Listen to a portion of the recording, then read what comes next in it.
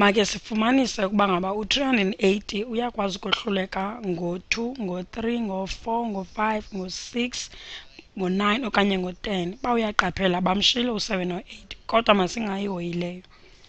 Make sicinge ngo-2, make sicinge ngo-2. Ingaba u-380 uyakwazi ukwahluleka ngo-2? Sibhale u-2. Into ithi ukwazele into yahluleka ngo-2 kufuneka ibe ilinani eli-even. Futhi xa ilinani eli-even kufuneka elinani lokugqibela, mandiyibhale loo nto, elinani lokugqibela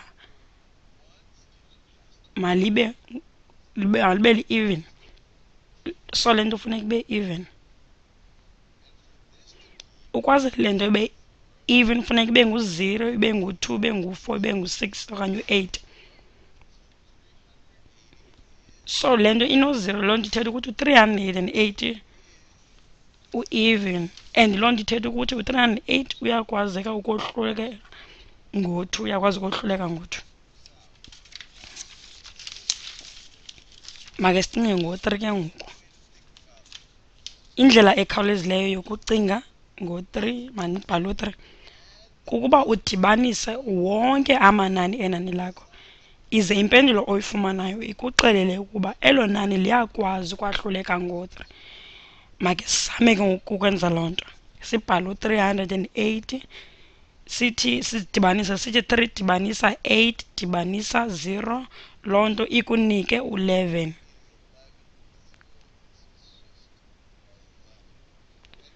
Ukuba unengxaki ke ngoku ngokuandastenda le mpendulo ungavele udibanise u-one no-one, loo nto ikunike u-two.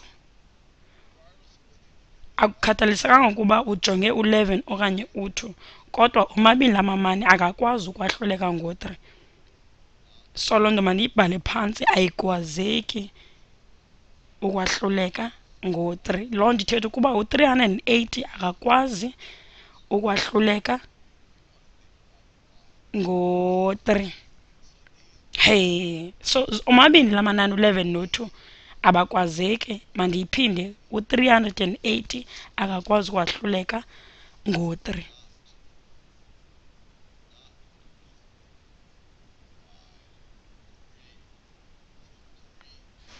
Eyi, masimxhakxe ke ngoku u-three akasebenzi. Make sicinge ke ngoku ngo-four. Sijonge uba u-three hundred and eighty uyakwazi ukwahluleka ngo-four na.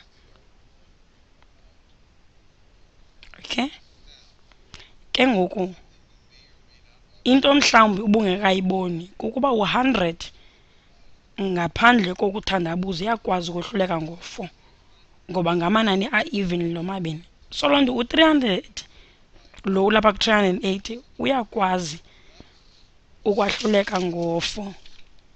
Sishiyekele ke ngoku ukuthi sijonge u-eight uba ngaba uyakwazi ukwahluleka.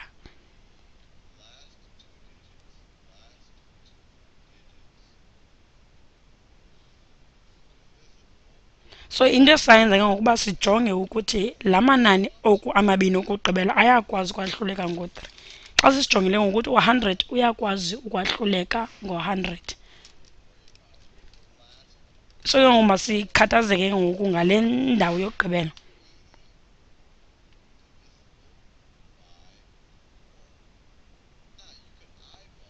So kule nto ke ngoku u-8 sijonge ukuba ngaba uyahluleka ngo-3 na. So u-8 uyohluleka ngo-4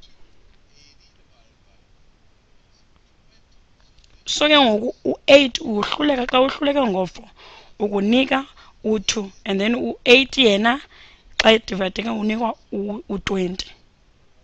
Loo nto ithetha ukuthi uba yebo uyohluleka. Make sizojonga u-five ke ngoku. Make sizojonga u-five. Ke ngoku ithini indlela yento xa into isohluleka ngo-five? Make senze uphindaphinde luka-five. Sithi five, ten, fifteen, twenty, twenty-five, njalo njalo. Xa into ikwazeka ke ngoku ukwahluleka ngo-five, loo nto ithetha ukuba elo nani liphela ngo-5 okanye ngo-0 kwinani lokugqibela ewe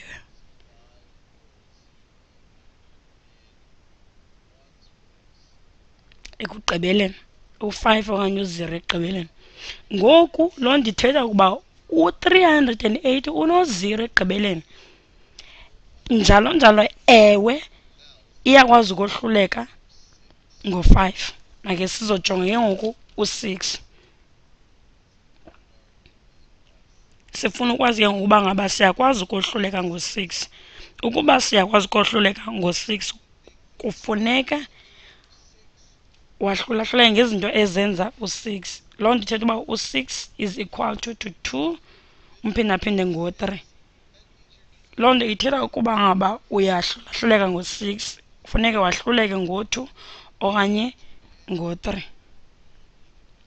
loo nto ithetha uba uzokwazi ke ngoku ukwahluleka ngo-6 ngoku ke u-308 uyakwazi ukwahluleka ngo-2 kodwa sesiphinde safumanisa ukuba akakwazi ukwahluleka ngo-3 ukuba u-300 akakwazi ukwahluleka ngo-3 loo nto ithetha ukuba akakwazi tu ukwahluleka ngo-6 hayi ke ngoku akakwazeki tu ukwahluleka u-380 ngo-6 make siye ku-9 ke ngoku. So ungenza ingxoxo efanayo nalapha. Uthi ukuba ngaba into ayikwazi ukwahluleka ngo-3 ayinokwazi ukwahluleka ngo-9 ngoba u-9 wenza u-3 umphindaphinde ngo-3 loo nto ithetha ukwazela ukwazi ukwahluleka ngo-9 kufuneka ukwazi ukwahluleka ngoo-3 ababini ubuncikane. So ungasolo umkhuphe u-9 kodwa ke uba ngaba besingayazi ukuba akakwazi ukohluleka ngo-3 besinokudibanisa besinodibanisa la manani. Sidibanise u-3 dibanisa no-8 umdibanise no-0 ufumane u-11 sizibuze ke ngokuba uyakwazi ukwahluleka ngo-9 sithi hayi akakwazi. Tu u-11 akakwazi ukwahluleka ngo-9 le nto ke ngoku itsho ithethe ukuba u-308 akakwazi ukwahluleka ngo-9 ku-3 besijonge ukuba ngaba u-11 uyakwazi ukohluleka ngo-3 ngoku sijonga u-9 uba uyakwazi ukohluleka ngo-11 sigqithe ekugqibeleni sinelinani u-10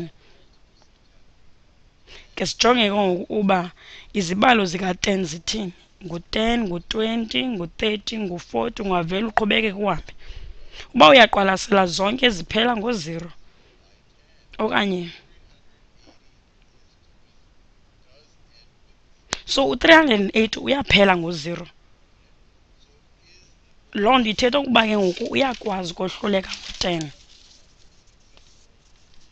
ke ngoku xa sesiqukumbela sijonge ukuthi